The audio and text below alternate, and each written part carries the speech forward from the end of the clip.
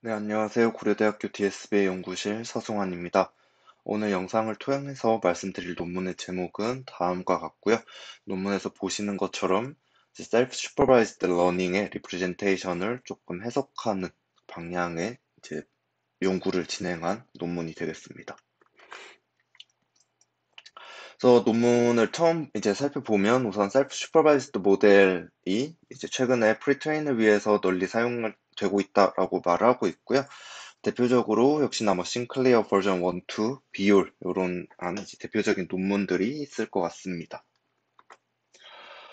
어, 그래서 논문에서는 self-supervised learning 자체가 레이블이 없는 상황에서 downstream task를 위해서 모델을 학습을 하는 매우 유용한 방법이다라고 말을 하고 있고요. 어, 그럼에도 불구하고 학습 된 representation에는 다소 노이즈가 있다라고 말을 하고 있습니다. 어, 그렇지만 이제 이러한 노이즈에 대한 노이즈에 대해서 해석을 하거나 좀 시각화를 하는 그러한 연구는 부족하지 않나라고 말을 하고 있고요. 어, 이러한 상황에서 우리가 어, 이 self-supervised learning을 통해서 학습한 이제 모델의 representation을 해석을 하는 연구를 진행을 했다라고 말을 하고 있습니다. 그래서 논문에서 본 연구에서 이제 발견을 한 것들에 대해서 먼저 말씀을 드려보자면, 어, 90% 이상, 논문의 90% 이상이 discriminative feature에 대해서 말을 하고 있습니다.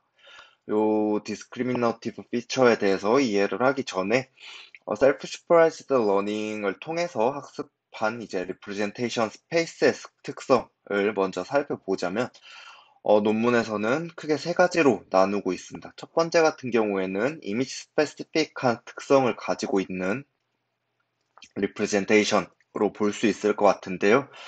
어, 이미지 전체로 봤을 때, 그러니까 dataset 전체로 봤을 때 비중이 굉장히 적은 어, 그러한 representation이다라고 보시면 될 것 같습니다. 그래서 조금 더 풀어서 설명을 하자면 어, 굉장히 소수의 이미지가 가지고 있는 특성, 뭐 가지고 있는 텍스처 이렇게 생각을 하면 될 것 같고요. 두 번째 특성 같은 경우에는 대부분의 이미지가 가지고 있는 representation이다라고 볼 수 있을 것 같습니다. 그래서 뭐 논문에서는 텍스처나 컬러 같은 게 있다라고 나와 있는데 어, 쉽게 설명을 하면 뭐 직선이나 곡선 이러한 이제 모든 이미지에서 가지고 있는 텍스처나 아니면 대부분의 이미지에서 가지고 있는 컬러들이라고 보면 네, 될 것 같습니다. 그리고 마지막으로는 특정 클래스에만 속한 이미 어, 그 특정 클래스에 속한 이미지에서만 공통적으로 발견되는 representation이 있다라고 말을 하고 있고요. 어, 이러한 것들을 discriminative feature라고 부르겠다라고 논문에서는 말을 하고 있습니다. 어, 이게 뭐 뒤에서 한 번 더 말이 나올 텐데, 어, 상당히 좀 직관적인 분할이다라고 저는 이게 받아들여졌고요. 네, 그래서 discriminative feature에 대해서 이제 말씀을 드려보자면, discriminative feature 같은 경우에는 informative attribute를 굉장히 잘 하이라이트하고 있다라고 말을 하고 있고요. 레이블 없이 학습을 하죠. 저희가 self-supervised learning 자체가 이제 레이블 자체를 데이터셋에서 생성을 하면서 모델을 학습을 하기 때문에 그 클래스에 대한 레이블 없이 이제 모델을 학습을 하게 되는데 그럼에도 불구하고 downstream task의 이제 classification에서 정분류에 굉장히 큰 영향을 주더라. 요 discriminative feature가 네, 두 번째 꼭지는 그러한 내용이 되겠고요. 어, 마지막 같은 경우에는 discriminative feature를 사용을 하면 잘 사용을 하면 downstream task의 성능을 최대한 유지를 하면서 representation을 50%로 압 축을 할 수 있다라고 나와 있습니다. 그래서 이 부분은 뒤에서 이제 실험을 진행을 한 게 있어서 실험 결과와 함께 다시 한번 말씀을 드릴 수 있도록 하겠습니다. 어, 그래서 가장 아마 메인 figure로 볼 수 있는 figure 1번인데, 어, 메인 figure를 보시면 행이 샘플 representation이라고 나와 있고, 열이 feature라고 나와 있습니다. 그리고 왼, 오른쪽에 보면 이제 heatmap에 대해서 하얀색으로 갈수록 0의 값을 가지고 있고요.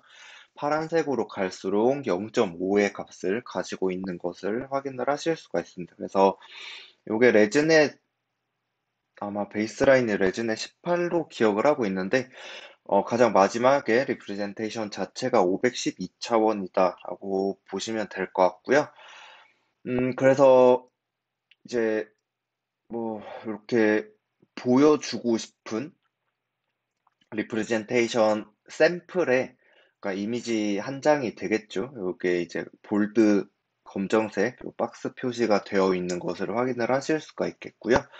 어, 세로로 요열 기준으로 빨간색 박스로 이제 표시가 되어져 있는 게 피처의 인덱스다라고 봐주시면 될 것 같습니다. 그래서 512차원 중에서 뭐 11번째, 27번째, 즉 75번째 이렇게 되어 있다라고 봐주시면 될 것 같습니다. 그래서 뭐 27번 피처 같은 경우에는 굉장히 어, 몇몇 샘플들에서 0.5의 값을 가지고 있고 나머지는 거의 0에 가까운 값을 가지고 있는 걸 보실 수가 있겠고요.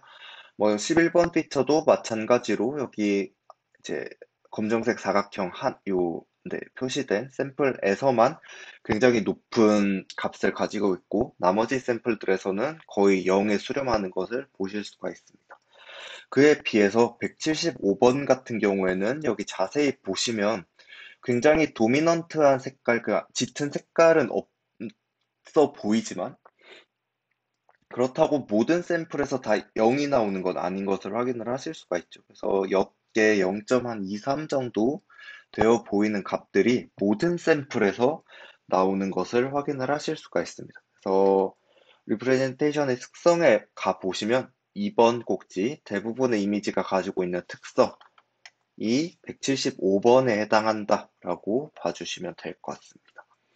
그래서 이게 이제 메인 figure가 되겠는데 제가 지금까지 말씀드렸던 해석 말고도 이제 논문에서 한 가지 더 말을 하고 있는 게 생각보다 representation feature가 굉장히 sparse하더라. 그래서 뭐, 어, 굉장히 많은 영역이 값이 0에 수렴하더라라는 말도 논문 전반에 걸쳐서 몇 번씩 이제 네, 등장을 하고 있다라는 말씀 드리면서 다음 이제 figure를 보시면 이 피규어가 이제 figure 2번이 되겠는데요. figure 2번 같은 경우에는 앞에서 표시를 했었던 뭐 11번 인덱스, 27번, 333번, 301번, 그리고 175번에 대해서 이렇게 이제 샘플 클래스에 있는 샘플의 퍼센트 이렇게 이제 나타낸 것들이라고 보시면 될 것 같습니다. 그래서 이걸 좀 같이 봐 보시면 11번이나 27번 같은 경우에는 어, 여기 나와 있는 이 batch size가 될 텐데 뭐 batch size 내에 있는 걸 보더라도 아까 설명드렸던 것처럼 굉장히 어, 좀 도미넌트 되어 있는 것을 시각적으로도 확인을 하실 수가 있습니다. 그래서 보시면 뭐 해당 클래스에 속해 있는 샘플들이 이렇게 굉장히 많죠. 여기 거의 80%뭐 내외 정도 되는 것으로 보이는데 네, 이런 식으로 이제 클래스 앞에서 말씀드렸던 것처럼 네, 클래스 네, 레이블이 없이 학습, 클래스에 대한 레이블 없이 학습을 하지만 정분류에 굉장히 매우 큰 많은 영향을 준다라고 되어 있는 게 이런 네, 느낌이다라고 봐주시면 될 것 같고요. 175번 같은 경우에는 아까 말씀드렸던 것처럼 뭐 전체 dataset, 그러니까 dataset 전체 이미지에 대해서 어, 거의 모든 이미지 클래스가 가지고 있는 정보를 담고 있는 feature다라고 봐주시면 될 것 같습니다. 네, 그래서 뭐 이러한 특성들이 있더라라고 1, 그 figure 1번과 2번을 통해서 살펴보실 수 있을 것 같고요. 어, 아까 말씀드렸던 것처럼 discriminative feature의 특성은 뭐 앞에서 보셨던 것처럼 이렇게 세 가지를 가지고 있는데 그러면 이 discriminative feature라는 거를 어떤 식으로 define 할 수 있는지에 대해서는 아래와 같이 논문에서는 정의를 하고 있습니다. 그래서 이 li 자체가 discriminative feature인데 j가 컬럼 인덱스라고 봐주시면 될 것 같고요.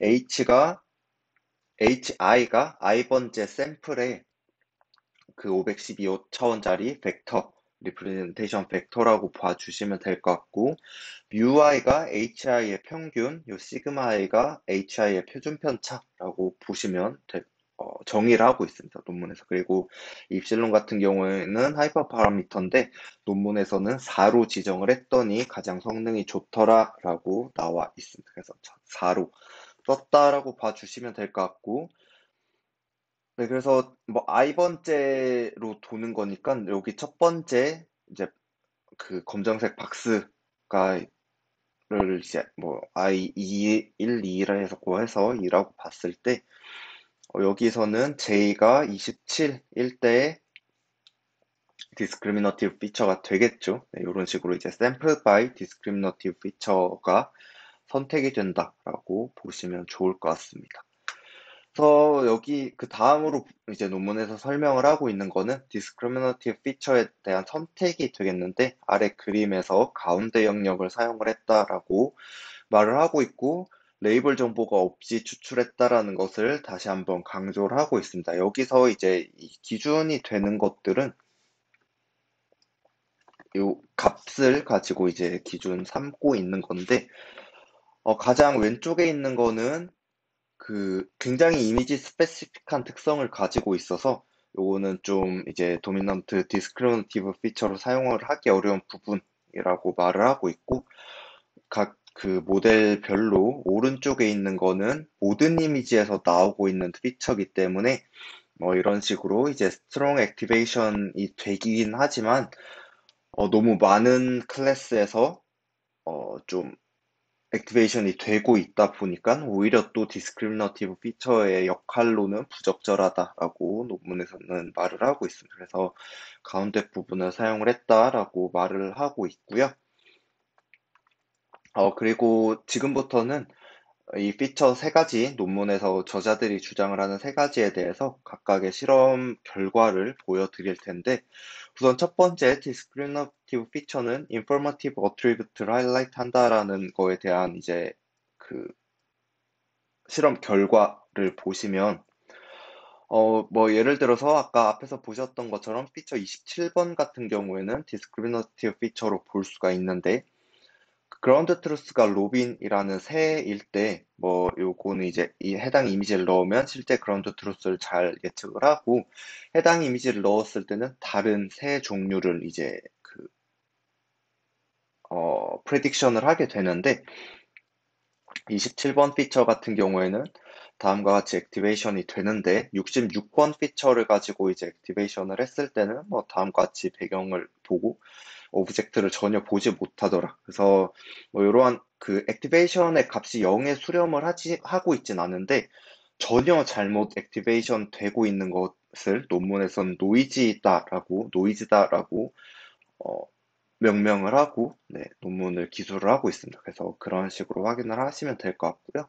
나머지 클래스에 대한 것들도 다 마찬가지 로직을 가지고 네, 이렇게 그 해석을 하고 있습니다. 그래서 discriminative feature 자체가 클래스를 뭐 오분류를 할 수도 있는데 그럼에도 불구하고 굉장히 informative한 attribute를 하이라이트 한다라는 것은 네, 이렇게 이제 activation map을 통해서 확인을 해 볼 수 있었고요.